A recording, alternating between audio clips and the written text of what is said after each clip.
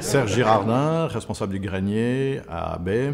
Je suis là pour euh, une petite conférence sur euh, des enjeux très importants euh, par rapport à la relation entre l'ESS et le climat. Et moi, je vais parler surtout de la partie alimentaire. Alors, le grenier, c'est une petite entreprise qui est principalement euh, pour euh, premier but de réhabiliter au fait euh, l'ancien métier de marchand grenier, de grainotier. donc je propose à peu près 3500 variétés de, de plantes, de légumes anciens, de plantes médicinales, aromatiques. Et puis, euh, dans le cadre de ce projet, ce projet s'est développé et maintenant, ben, on a trouvé des terres où on a pu développer ce projet et on va de la graine au planton et du planton aux légumes et on propose des paniers de légumes euh, dans la région Chablais. But de départ, c'était effectivement euh, de faire que des graines et semences, mais le hic, c'est qu'à un moment donné, ben, il faut bien les multiplier, il faut bien les préserver. Donc, il fallait absolument trouver des, terres pour le faire.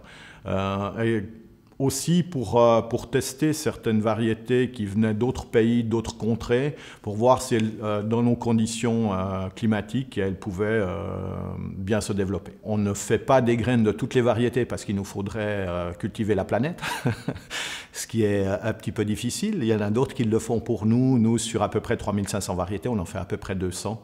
Et comme on est sur une petite surface, on se concentre principalement sur euh, des multiplications de, graines de, plantes aromatiques. Alors il y avait une notion de SS au démarrage du projet, donc moi je voulais le faire euh, avec cette... Euh, on va dire cet esprit de charte éthique qui est, qui est dans, les SS. Et comme j'étais d'abord sur Neuchâtel, ben, j'ai fait partie de, après Béjune.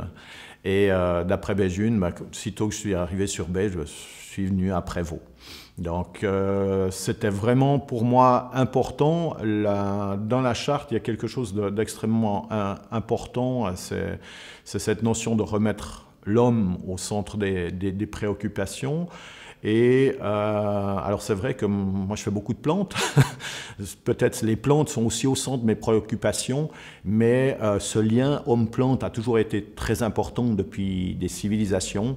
Et euh, pour moi c'était important effectivement que le, que le projet soit un projet type d'économie sociale et solidaire. Pour moi, le grand challenge, ça a été de faire une société de type plutôt SA-SARL alors que dans l'économie sociale et solidaire, on trouve surtout des associations et des coopératives.